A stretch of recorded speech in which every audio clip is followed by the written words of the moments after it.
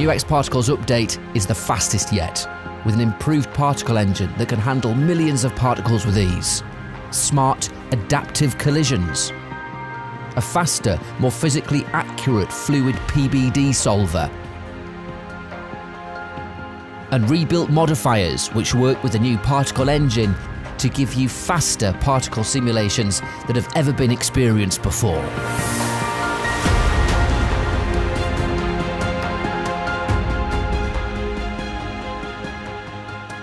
In this first scene, I have an X particles emitter and is shooting half a million particles on the first frame. It's being manipulated by a curl turbulence. And as you can see, we have half a million particles in the viewport, and I'm able to orbit around this with ease.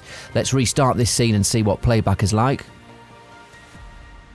So very smooth viewport playback with half a million particles, and again I can orbit right the way around the scene, and the viewport performance is excellent.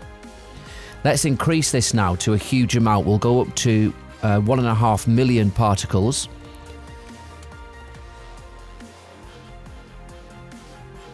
And viewport performance is still pretty good. Uh, we are playing through, every single particle is being drawn, and we're getting frames per second, which is workable.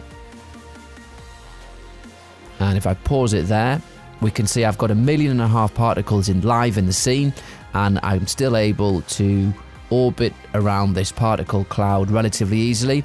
I can dolly in, go right the way through, come back, and we've maintained excellent viewport performance. So let's test the speed of this scene with the current build of X Particles along with the new update.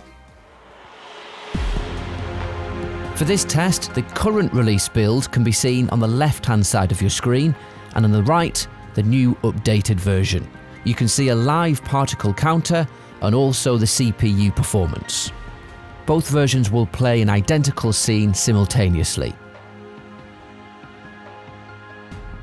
And as you can see, the updated build on the right of your screen is incredibly quick, much faster than the current release. And it's finished. 91 frames simulated in just over 10 seconds, with a frames per second of just over 8 and there finishes the current build lagging behind 16 seconds to complete with 5 frames per second. This scene demonstrates the new XP Fluid PBD object. Calculations are faster and simulations are far more physically accurate. Particle density is calculated more efficiently and you have independent substeps and iteration settings. By default, these settings are set automatically. If you need more control, you can set the minimum maximum substeps and the minimum maximum iterations. These are independent from any other scene objects, meaning you don't needlessly slow down the simulation of your scene. Let's compare the new XP Fluid PBD with the current release version. So let's start this test. On the left hand side of your screen is the current release build, on the right hand side of your screen, the new updated version. And immediately you can see that the update is massively faster. It's processing its way through the scene much more quickly, and there are fewer stray particles which are bouncing around all over the place and escaping from the container. And there it is finished. 13 seconds the total time, with an average frame per second of just over 7 and we can see that the current release build is still making its way through this simulation. Exactly the same settings here. So we're just coming into the last 10 frames now, and there it is. So it finishes a total time for the current release build of 35 seconds with a frames per second of 2.8. That means that the new build is over two and a half times faster than the current release build. Particle to object collisions are now calculated dynamically. This means that they're very efficient and therefore very fast to simulate.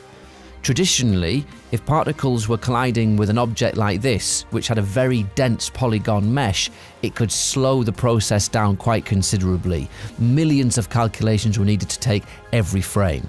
But now with the smart dynamic collisions, the majority of these polygons don't need to be taken into account If we go into the collisions tag and select draw bounds, we can just see how the mesh is divided only in the areas where the calculations for collisions need to take place. This ensures that the scene runs incredibly smoothly, even with models with millions of polygons.